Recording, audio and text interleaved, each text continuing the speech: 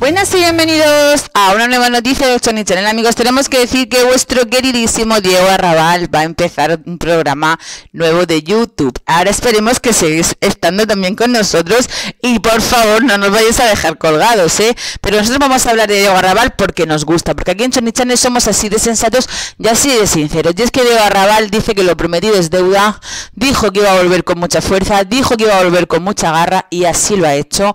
Se ha puesto un nuevo canal de YouTube que lo podéis ver, Diego Arrabal Paparazzo, algo así se llama, en el cual promete que va a venir con muchísima guerra. Y ya son muchísimos los que dicen que no se va a quedar callado con su frente abierto que tiene personal prácticamente a lo mejor con muchísimos famosos. Sabemos que Diego va por todas, sabemos que él no se calla, lo hemos visto en muchísimas ocasiones, es una persona que gusta muchísimo porque habla muy pero que muy claro, dice las cosas siempre muy claras y además tenemos que decir que en esta docu-serie se ha puesto y se ha posicionado más al lado de Antonio David Flores y de Rocío Flores. Es por eso que muchos dicen que mm, el propio Diego Raval le ha dado muchísimos zascas a Rocío Carrasco.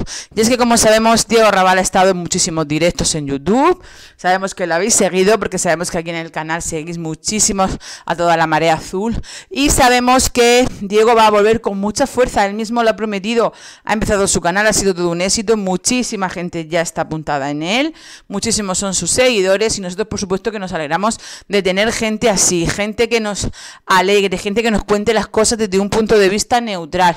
Personas que se tienen que decir algo, dicen las cosas como las piensan y no están manipulados. Y es que Diego sabemos que se fue de la televisión, uno fue por esos motivos, él mismo lo reveló, aunque dijo que en Viva la Vida le, decían las, le dejaban decir las cosas como quería, sabemos que ha denunciado muchas veces públicamente que en Sálvame manipulaban un poco lo que tenían que hacer o que al menos no eran totalmente libres para hablar de lo que tenían que hablar.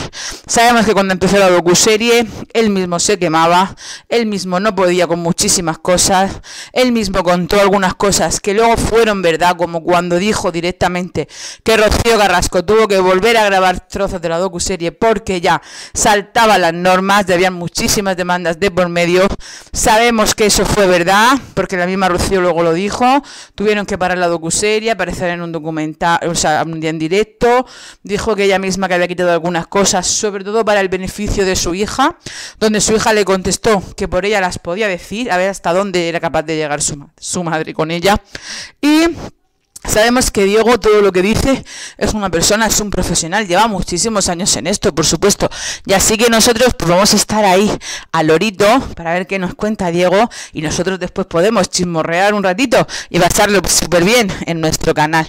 Y bueno, ya sabéis que en Sony Channel, como siempre, pues agradecemos vuestros comentarios, nos encantaría saber qué es lo que piensas y siempre, siempre te agradecemos que estés aquí con nosotros. Gracias por confiar en nuestro canal Sony Channel, tu diario raza.